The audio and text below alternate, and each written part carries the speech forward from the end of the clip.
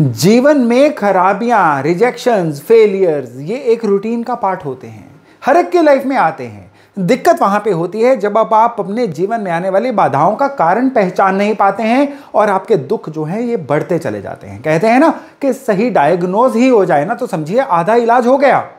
आप अपने जीवन की रूटीन में से ही बता सकते हैं कि आपका कौन सा ग्रह खराब हो रहा है और फिर उसकी डोनेशन या उसका इलाज करके अपना जाने अपनी कितनी दिक्कतों को सही कर सकते हैं। और ये सच है, और इसके लिए आपको किसी एक्सपर्ट को भी चार्ट दिखाने की ज़रूरत नहीं पड़ेगी।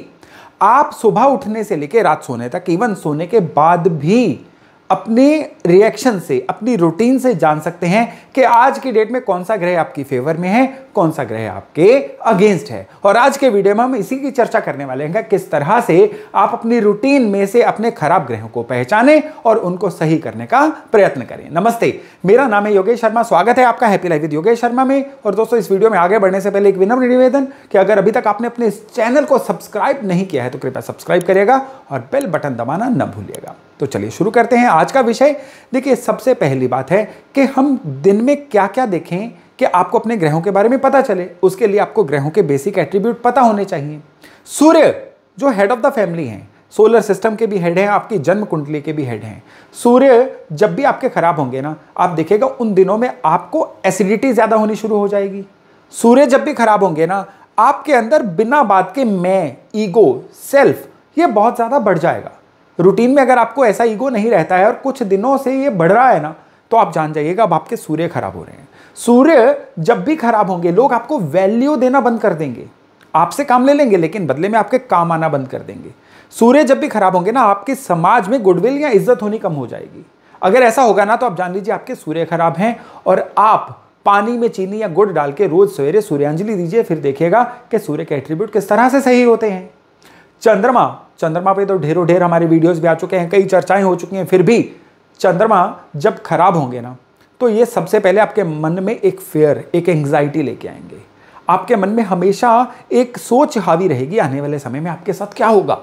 ये जो दिक्कत मेरी लाइफ में अभी चल रही है, इस दिक्कत की वजह से आने वाले समय में क्या से क्या हो सकता है? ये चंद्रमा की खराबियाँ हैं।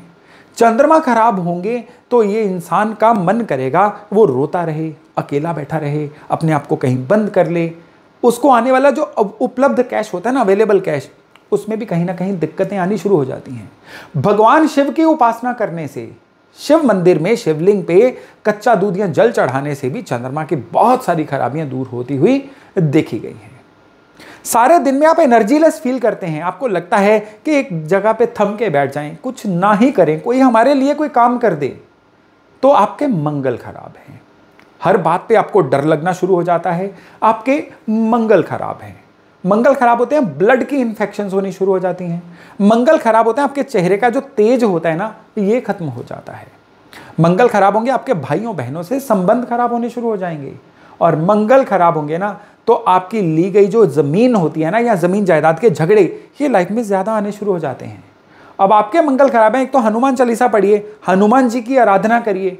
और कोशिश करिए भूमि में, ज़मीन में आप हरे पौधे ज़रूर प्लांट करके आइए। छोटे हरे पौधे। अब मैं यहाँ पे ग्रोन अप ट्रीज की बात नहीं कर रहा हूँ। छोटे छोटे हरे पौधे, हालाँकि पौधे बुद्ध होते हैं, लेकिन ये मंगल का बड़ा ज़बरदस्त उपाय है कि भूमि के अंदर, गमलों के अंदर नहीं, भूमि के अंदर पौधे प्लांट किए जाएँ। यानी भूमि का उद्धार किया जाए। ये दरअसल इस उपाय का मर्म है। ये करेंगे ना, मंगल की कितनी ही समस्याएँ आपके जीवन से खत्म हो जाएँगी। बुद्ध। बुद्ध खराब होंगे तो इंसान को सबसे पहले रॉन्ग डिसीज़न मेकिंग हर फैसला गलत। बुद्ध खराब होंगे ना, अब ये इंसान अटकना शुरू हो जाएगा। कहीं किसी फैसले पर अटक गया, कहीं उसके काम अटक गए, कहीं काम होते होते रुक गए। ये इंसान की बुद्धि जवाब दे जाएगी, ना कोई चीज़ उसको याद रह पाएगी और याद भी रह पाएगी ना, सही समय पर उस चीज़ को अप्लाई नहीं कर पाएगा। ये होता है बुद्ध खराब। अब बुद्ध खराब होगा तो क्या किया जाए? बुद्ध खराब होगा तो माँ भगवती उपासना। पक्षियों को हरे दान, हरे दाल खिलाना, वो भी रात की भिगोई हुई। ये बुद्ध का एक बड़ा ज़बरदस्त उपाय है। अब गुरु खराब होंगे तो ये इंसान के जीवन में बड़ी विपदा लाते हैं। किस्मत कनेक्शन का खत्म हो जाना। घर के बड़े बुज़ुर्गों से ऑपोजिशन या घर के बड़े बुज़ुर्गों का बारी बारी से लगातार बीमार होते चले जाना। एंसेस्ट्रल प्रॉपर्टी को लेके किसी तरह की दिक्कत आ जाना। या इंसान को लगे, यहाँ पे तो किस्मत का साथ चाहिए ही था, वो ना मिलना। ये गुरु के खराब होने की निशानियाँ होती हैं। गुरु के खराब होने की एक बहुत बड़ी निशानी होती है, उस घर में कलेश का वातावरण रहना शुरू हो जाता है। गुरु खराब होंगे तो सबसे ज़रूरी जो उपाय है ना, जो इमीडिएटली गुरु के सारे एट्रीब्यूट्स को सही करता है, वो होता है बुज़ुर्गों के आगे एल्डर्स के आगे सरेंडर कर देना। ये गुरु को इमीडिएटली सही करता है। और दूसरे, केसर का तिलक रोज माथे पे लगाइए, गुरु जो है बहुत जल्दी सही हो जाएँगे। शुक्र अगर खराब होंगे ना तो ये उस इंसान के जीवन में क्या करते हैं? क्वालिटी खत्म कर देते हैं। इंसान कमाता रहेगा, लेकिन उसके ना पर्सनैलिटी से क्वालिटी दिखेगी, ना उसके रहने वाले घर से क्वालिटी दिखेगी, ना उसके व्हीकल से, ना ही उसकी पर्सनैलिटी से, ना ही उसके बोलचाल के तरीके से। क्वालिटी का खत्म होना शुक्र के खत्म होने की सबसे पहली निशानी। शुक्र की दूसरी निशानी ऑपोजिट जेंडर से संबंध खराब होना। स्किन की ट्रबल्स ये भी शुक्र की निशानी। और शुक्र की सबसे बड़ी निशानी क्या होती है? कि इंसान जो है, ये अपने फ्यूचर को लेके प्लानिंग ही नहीं कर पाता है। वर्तमान दिन बिताने में लगा रहता है, लेकिन फ्यूचर की कोई प्लानिंग उससे हो ही नहीं पाती है। शुक्र की ये सबसे बड़ी दिक्कत होती है। गाय की सेवा करना, गाय को ज्वार खिलाना, ये शुक्र को सही करने का एक बड़ा ही ज़बरदस्त तरीका है।